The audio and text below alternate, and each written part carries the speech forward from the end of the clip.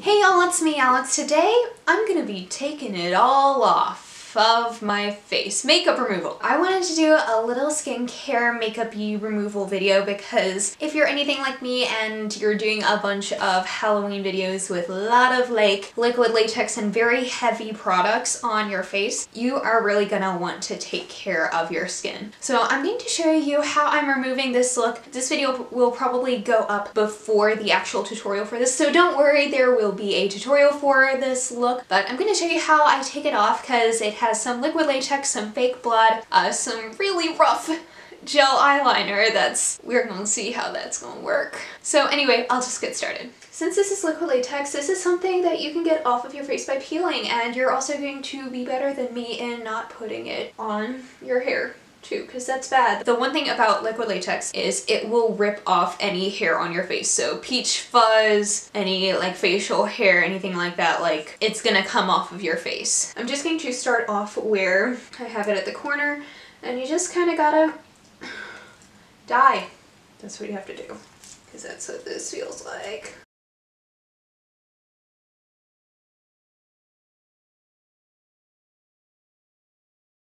This is fake blood, not real blood right here.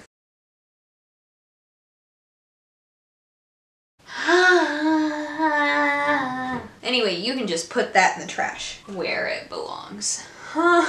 so now you have fake blood all over your hands and you're not anywhere near a sink, so that sucks. Since that's been removed, that is the most painful part of all of this. Hopefully, hopefully foundation and just like cream color won't be that difficult. So I'm just gonna take some of the Studio 35 Beauty cleansing towelettes palettes. I got these from Walgreens and I'm just going to use that to just kind of go over the rest of my face. You can use an oil-based makeup remover that you have to use with like the extra claws and stuff but for me I personally prefer this because it's just like one fewer step and especially when I have so much makeup on my face I much prefer to use something a bit simpler.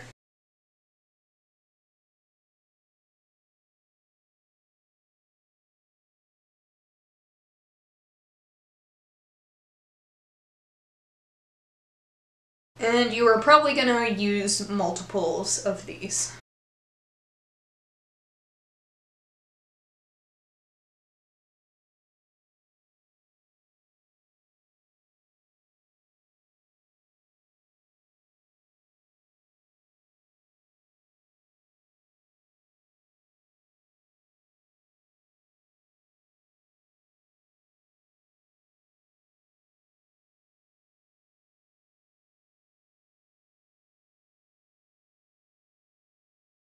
Right now I'm finding a little residual liquid latex, so just peel that off of your face if you find any. It's kind of like peeling glue, but like off your face. Okay, so now that I have all of this off my face, I'm going to use a face mask because your skin hurts. It hurts a lot. So I'm using this Pacifica Hot Vegan Probiotic and Spice Rehab Mask. This is for all skin types, but especially stressed. It is 100% vegan and cruelty-free. And when you're doing makeup like this over and over, your skin is gonna be very, very stressed. And I found that this is really good for just soothing the skin and making it feel really good and it smells like Rice Krispie treats, which is wonderful. I'm just going to apply this to my face and just leave it on for however long I feel like it. And it's not like a lot of other face masks where you'll really see it on your skin. I think all of the Pacifica face masks like don't have any like dye or anything in them so they're all just clear and they'll just make your face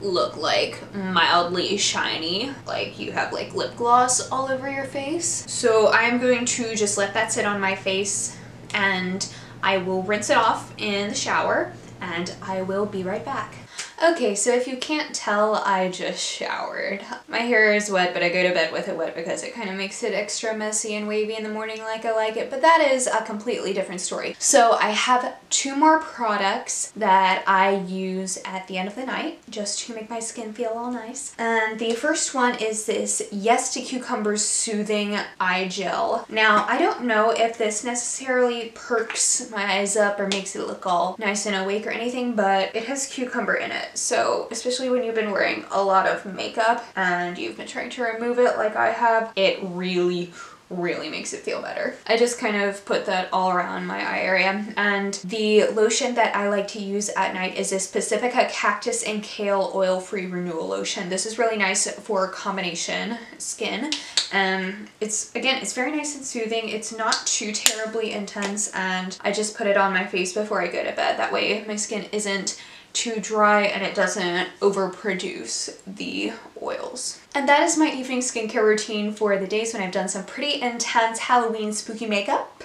Thank you so much for watching. Please be sure to give the video a thumbs up if you liked it and subscribe down below if you want to see more videos from me and I will see you on my next one. Hope you have a wonderful day. Bye!